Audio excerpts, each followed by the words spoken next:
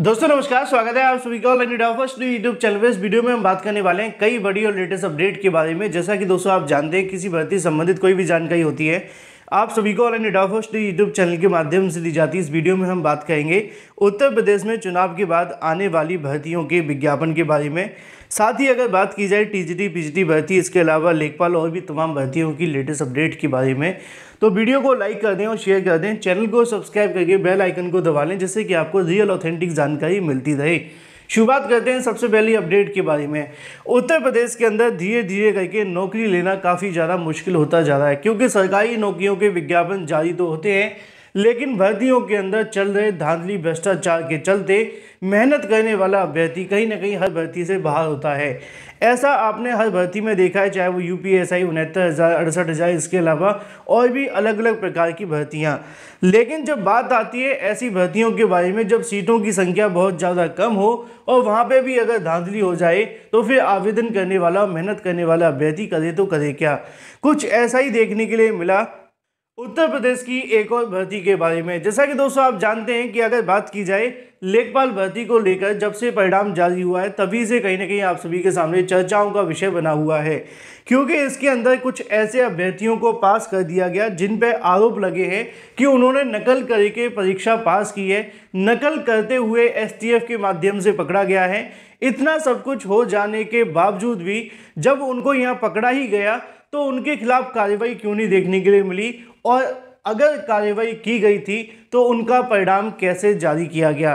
दोनों ही सवाल कहीं ना कहीं काफ़ी ज़्यादा महत्वपूर्ण है, और इसका जवाब अच्छी बात यह है कि उत्तर प्रदेश अधीन सेवा चयन आयोग के पास नहीं है, क्योंकि वो अभी भी नींद में है। यहाँ पे अगर बात की जाए, चार्जशीट दायर की गई तो रिपोर्ट क्यों नहीं भेजी गई आयोग को? आयोग कहता है कि हमारे पास में उस नकलची को लेकर हमारे पास कोई भी रिपोर्ट नहीं भेजी गई। अब जब उनकी चार्जशीट उनके खिलाफ दाखिल हुई है तो रिपोर्ट क्यों नहीं भेजी गई? मतलब कि पूरा का पूरा प्रबंध तंत्र ही मिला हुआ है। आयोग कार्रवाई करना नहीं चाहता, क्या उसने ऐसी जानकारी नहीं देखी थी एसटीएफ के माध्यम से? चलो ठीक है, वो चार्जशीट का इंतज़ार कर रहे थे तो परीक्षा केंद्रों के माध्यम से क्यों नहीं किया गया? और भी बहुत सारे सवाल हैं, जो कि आप सभी के सामने हैं। लेखपाल मुख्य परीक्षा 2021 में नकल करते पकड़ी गई। रितु सिंह के पास होने का प्रकरण जिला प्रशासन के सवालों के घेरे में है। सवाल ये है कि प्रकरण सामने आने के बाद भी इस संबंध में रिपोर्ट क्यों नहीं भेजी गई? आयोग इसलिए घेरे में है क्योंकि जाँच के दौरान पुलिस की ओर से पत्राचार किए जाने के बाद भी मामले को संज्ञान में क्यों नहीं लिया गया? क्योंकि जाँच के समय बहुत सारी जानकारी एसटीएफ के माध्यम से मांगी जाती है किसी अभ्यर्थी के बारे में। तो क्या वो उसका आधार कार्ड बनाने के लिए मांगते हैं कि वोटर आईडी कार्ड बनाने के लिए? निश्चित तौर पर जब एसटीएफ किसी की जानकारी मांग रही है तो कोई ना कोई तो बात होगी। अब आयोग को तो लगा कि कोई बात नहीं, उन्होंने मांगी है तो हम दे देते हैं और हमारा काम से परिणाम जारी करना है। इससे पता चलता है कि या तो प्रबंधन सो रहा है। अगर सो रहा है तो ये बहुत बुरी बात है और अगर जाके भी ये काम कर रहा है तो ये उससे भी बुरी बात है। नीचे लिखा हुआ है कि एक दिन पहले लेखपाल भर्ती परीक्षा का परिणाम घोषित हो जाने के बाद सामने आया था कि आरोपी रितु सिंह उत्तीर्ण हो गई हैं। 31 जुलाई 2022 को करेली के चेतना गर्ल्स इंटर कॉलेज में वह नकल करते पकड़ी गई थी। इसके बाद वह फरार हो गई। पुलिस उसे गिरफ़्तार नहीं कर सकी। उसकी गिरफ्तारी को लेकर कोर्ट से राहत मिल गई। करीब एक महीने पहले आरोपी अभ्यर्थी ने समेत आठ लोगों के खिलाफ चार्जशीट दाखिल की गई और परिणाम उत्तीर्ण घोषित होने के मामले के एक दिन पहले ही चर्चा में आया। सूत्रों का कहना है कि ऐसा होने की वजह प्रशासनिक अफसरों की लापरवाही है। जो भी हो, सीधे तौर पे इनको कहीं ना कहीं फायर कर देना चाहिए। ऐसे अधिकारी होना बिल्कुल कहीं ना कहीं आपके भविष्य के लिए खतरनाक है, क्योंकि ये लापरवाही नहीं है, ये पूरे तरीके से बस, बोलना नहीं चाहता। आगे बढ़ते हैं। लिखा हुआ है कि इस मामले में अगर प्रधानाचार्य प्रबंधक जेल चले गए तो कम से कम स्टैटिक मजिस्ट्रेट को रिपोर्ट आयोग के पास भेजनी चाहिए थी। तत्कालीन स्टैटिक मजिस्ट्रेट संदीप यादव की बात की गई तो उन्होंने साफ़ कह दिया कि रिपोर्ट केंद्र प्रबंधन को भेजी जानी चाहिए थी जब उनसे पूछा गया कॉलेज प्रबंधक इसके अलावा प्रधानाचार्य के बारे में तो उन्होंने बताया कि उसके बाद ही उनको जेल भेज दिया गया था। ऐसे में उनकी जो रिपोर्ट है, वो आगे नहीं भेजी गई और गोलमोल बातें करने लगी। निश्चित तौर पर जैसा कि मैंने आपको स्टार्टिंग में कहा कि लेखपाल भर्ती के अंदर नकलचियों को पास कर दिया गया है। और अब छात्रों के माध्यम से लेखपाल भर्ती परीक्षा को रद्द करके री एग्ज़ाम कराए जाने की मांग की जा रही है, क्योंकि बहुत सारे ऐसे अभ्यर्थी हैं जो जो कि हमने देखा हुआ था, वो उसको कुछ, उसके खिलाफ कोई कार्रवाई नहीं हुई। पता नहीं इतने तो कैसे होंगे जो कि कहीं ना कहीं परीक्षा के अंदर धांधली किए होंगे, लेकिन आपको तो पता ही नहीं है। चलिए बात कर लेते हैं अपनी अगली अपडेट के बारे में, जो कि संबंधित है यूपी चुनाव के बाद आने वाली भर्तियों के बारे में, और साथ ही टीईटी को लेकर भी यहाँ पे कुछ लिखा हुआ है। तो दोस्तों, यहाँ पे आप सभी को देखने के लिए मिलेगा, अगर बात की जाए, आयोग भर्ती प्रस्तावों को लेकर कर रहा है ठीक टीईटी वाले छात्रों को मिलेगा मौका। और उसी की नीचे वाली लाइन में आपको जानकारी देखने के लिए मिलेगी कि निकाय चुनाव के बाद समूह गा के पदों के लिए शुरू होंगी भर्तियाँ। अब हम थोड़ा सा और नीचे जाए तो लिखा हुआ है कि यूपी में समूह गा के पदों के लिए सरकारी नौकरी का इंतज़ार करने वाले अभ्यर्थियों के लिए अच्छी खबर है। उत्तर प्रदेश अधीना सेवा चयन आयोग के माध्यम से निकाय चुनाव के बाद भर्तियों के विज्ञापन निकालने की प्रक्रिया शुरू करने जा रहा है। सबसे पहले कनिक सहायक पदों के लिए भर्ती का विज्ञापन जारी किया जाएगा। इसके बाद आयोग अभी तक इन विभिन्न विभागों के 4,500 से अधिक पदों की भर्ती का प्रस्ताव मिल चुका है। इसमें अभी संख्या में और ज़्यादा बढ़ोतरी होने की संभावना है। उत्तर प्रदेश अधीन सेवा चयन आयोग प्रारंभिक आर्ता परीक्षा 2022 के लिए साल के अंत तक सभी रिक्तियों के आवेदन लेने की तैयारी में है। इसमें विभिन्न विभागों की अगर बात की जाए, भर्तियों के प्रस्ताव मिल चुके हैं। वह इन पदों पर पदवार अलग अलग कर रहा है और उसके बाद में इन भर्तियों को लेकर जो विज्ञापन है वो जारी करेगा। और यहाँ पे बहुत सारी जानकारी इसी के बारे में लिखी हुई है। तो जो ऊपर टीईटी के संबंध में लिखा हुआ है, शायद ये टाइपिंग मिस्टेक है। यहाँ पे शायद पीईटी होना चाहिए था, क्योंकि मुझे लगा कि टीईटी के बारे में कोई जानकारी होगी।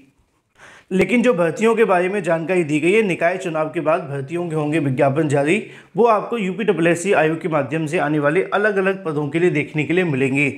चलिए बात कर लेते हैं अपनी अगली अपडेट के बारे में, जो कि संबंधित है। यूपी टीजीटी पीजीटी भर्ती के बारे में जारी विवरण को लेकर। जैसा कि दोस्तों आप जानते हैं कि यूपी टीजीटी पीजीटी परीक्षा को लेकर चार पदों पर इसके लिए आवेदन मांगे गए थे। अब उसके बारे में कुछ विवरण यहाँ से जारी किया गया है कि कितने अभ्यर्थी आपको देखने के लिए मिलेंगे। माध्यमिक स्कूलों के अंदर शिक्षकों की अगर बात की जाए, रिक्त पदों पर भर्ती की तैयारी माध्यमिक शिक्षा सेवा चयन बोर्ड की थी। उम्मीद थी कि चयन प्रक्रिया 2023 में नए सत्र से शुरू होने से पहले खत्म हो जाएगी, लेकिन ऐसा नहीं हो पाया।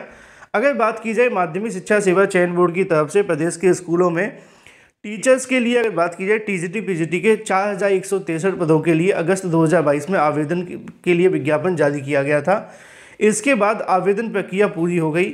पदों के लिए अगर बात की जाए, साढ़े चार लाख टीजीटी यानी कि एल गेट के नाम से जानते हैं, है ना? एल गेट और टीजीटी समान होते हैं। प्रवक्ता की बात की जाए तो पीजीटी, इनके लिए आवेदन किए गए थे। प्रवक्ता के अंदर लगभग साढ़े चार लाख अभ्यर्थियों ने आवेदन किया है और टीजीटी के अंदर अगर बात की जाए, इसको एल गेट कह सकते हो। आठ लाख उनहत्तर हज़ार अभ्यर्थियों ने आवेदन किया है।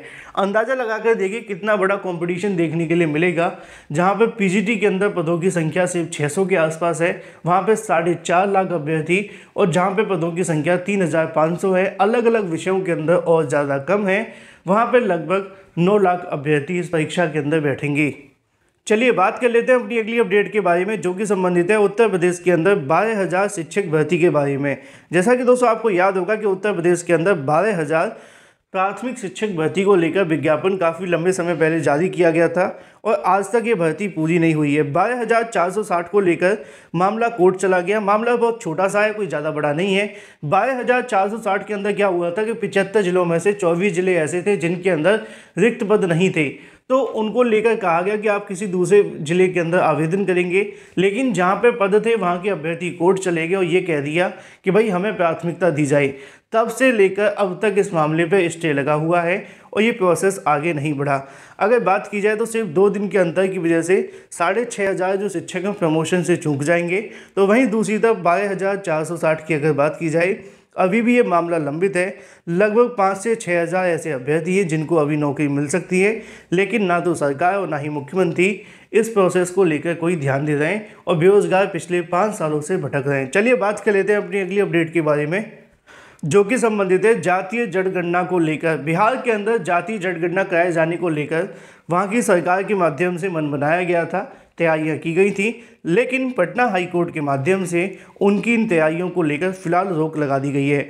कोर्ट ने राज्य सरकार को जाति आधारित सर्वे तुरंत बंद करने का आदेश दिया है।